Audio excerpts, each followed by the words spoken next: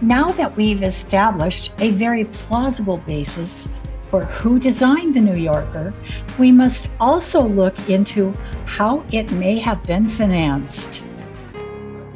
Though you'd be hard pressed to find acknowledgement of it today, Tesla's groundbreaking inventions had made him an independently wealthy man in his day.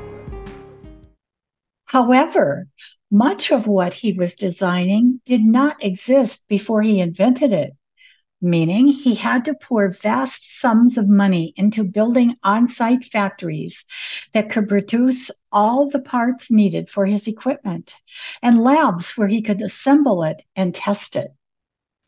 So when it came time to finance the New Yorker, Tesla would require outside funding. That funding very likely came out of the budget of U.S. military intelligence.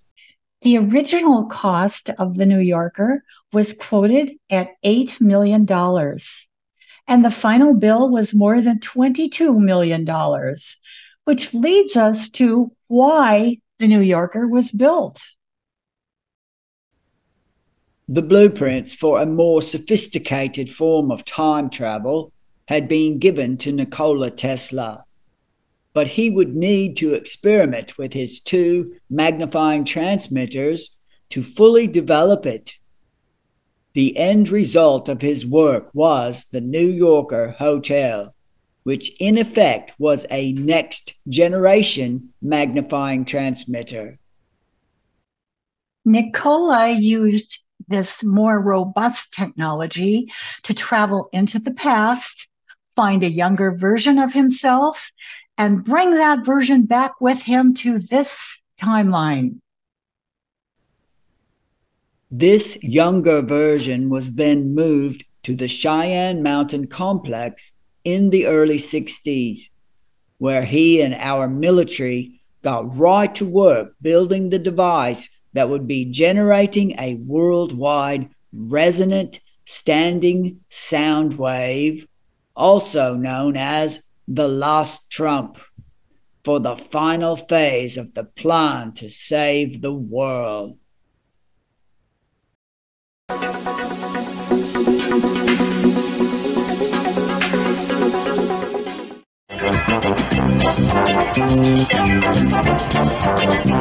This is another of the series entitled Vignettes of Early Radiation Workers, sponsored by the Bureau of Radiological Health. These consist of unrehearsed interviews with scientists working mostly in fields that impinge upon the applications of ionizing radiation to diagnostic and therapeutic radiology. From uh, Poly, you went then to MIT to uh, pursue your graduate work. Yes, I did. There were, was an intervening two years. While I was instructor at Poly, I studied physics at Columbia University. Uh-huh and uh, got the master's degree there. Now, when you uh, went to MIT, I believe your original intentions, if they may be so described, was to go into uh, electric power types of applications. Is that right? I came there primarily to become a, a good designer of high power electrical machinery. Uh, however, in the process of uh, looking for a doctorate thesis, I selected a, a, suitable topic in my area and went to see Vannevar Bush. Hmm. Bush uh, heard me on my problem.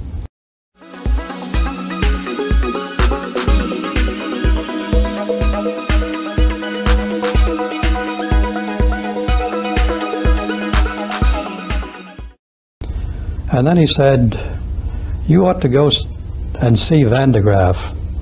He has just arrived at MIT from Princeton and he has some wild ideas.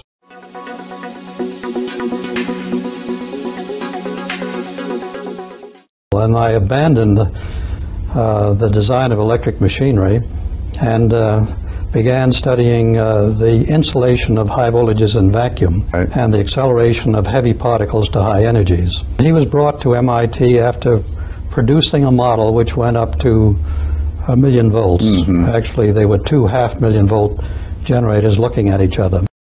This was a huge double electrostatic generator with spheres which were 15 feet in diameter set on a Textolite pedestal 25 feet high. Two huge machines. One was to run positive and the other negative.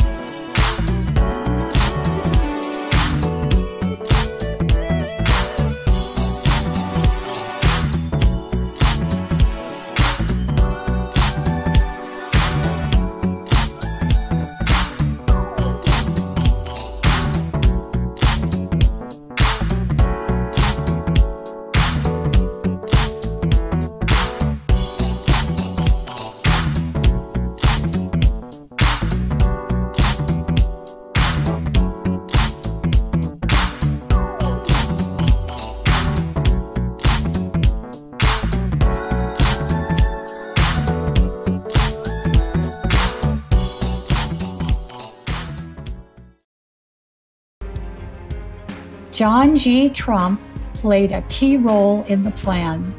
While serving in the military, leading the development of new top secret radar equipment, John G. Trump gained officer level access to connections within the military intelligence community. John G. was able to use these connections to ensure that the younger version of Nikola would be able to fulfill his role from inside the Cheyenne Mountain complex. This protection was necessary both for Tesla and his technology. When you have the big picture that the New Yorker was a more sophisticated form of time travel that allowed Nikola to traverse different timelines and interact with a younger version of himself, $22 million was a small price for our military to pay for humanity's freedom.